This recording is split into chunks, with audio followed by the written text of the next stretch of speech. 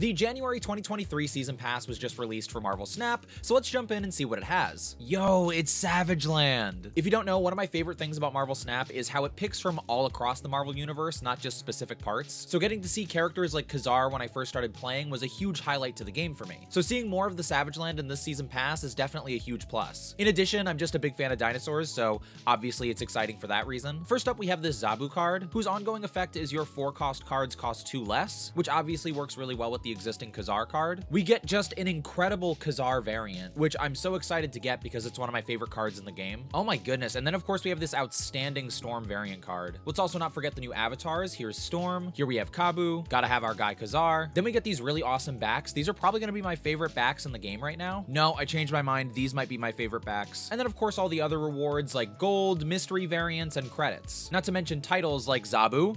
No, Bad Kitty. So yeah, in general, if you're interested in this side of Marvel Snap, I think this is a really awesome season pass. In general, I think the art is phenomenal, and I absolutely love the theme that they chose. Leave it to Marvel Snap to embrace something as obscure yet beloved as the Savage Land. And of course, I'd love to know what you think of this season. Why, yes, that is a loincloth.